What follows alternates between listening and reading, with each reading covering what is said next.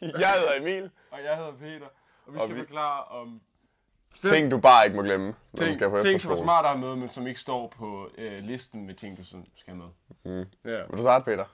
det vil da være spil, Emil. Og den første ting, vi har taget med, det er deodorant. Og øh, det tænker man ikke lige over, men det er vigtigt at have, have rigeligt med deodorant med. Øhm, specielt i sommermånederne, for man dyrker ret meget sport hernede. Og, og så er det altså nogle gange bare smart lige at tage noget deodorant på, hvis man ikke lige kan nå i bad. Ja, godt tak, Peter. Så det Emil. Og øhm, så har vi sådan en her. En højtaler.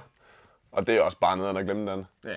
Når vi lige sidder og hygger på et eller andet værelse, mangler noget musik måske, så er den bare god eller nede at spille beachvolley. Eller noget at spille beach volley. Så er det altså bare smart at have med. Ja, det er det. Ja. Øh, så vores næste ting, det er øh, snacks og sodavand. Og det er altid rart, hvis man... Øh, man kan ikke holde ud at være sammen med folk hele tiden, så nogle gange så er det også rart bare at sidde inde på ens værelse og se film, eller, Godt sagt. eller bare slappe af og så Ja. spise snacks. Og det er bare super fedt bare at have rigeligt med snacks med. Så det er helt sikkert et, et must. Helt enig. Og så har vi sådan nogle her. Eller, så nogle her. Eller sådan nogle der. Ja. Og det er også mega vigtigt, fordi man jo løber rundt hele tiden. Så kommer du lige i hallen, der må du ikke have sko på. Så er den nemlig at tage af og på igen, når du smutter. Ja, og så magter man bare heller ikke binde snørebånd og sådan noget hele tiden. Nej, Så det, det er lidt federe.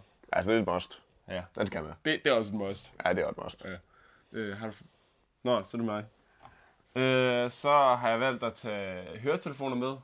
Øh, og det er nok også noget, man ikke lige tænker over. Men det er altså ret rart, når man nu bor flere på værelset, at man kan tage høretelefoner i og være en lille smule sådan sig selv -agtig. Og så er der nok muligvis den vigtigste. I, hvert Solcreme. fald, I hvert fald i dit tilfælde. For ellers ender du sådan her. Og det, og det vil man ikke. Ja, selvfølgelig ikke sådan lige i de kolde tider, men uh, nu her, der er den bare vigtig. Ja. Nå, men øh, tak fordi I så med. Ja, tusind tak. Og, og I må have et godt efterskoleophold og, og hygge jer og husk tingene. Ja.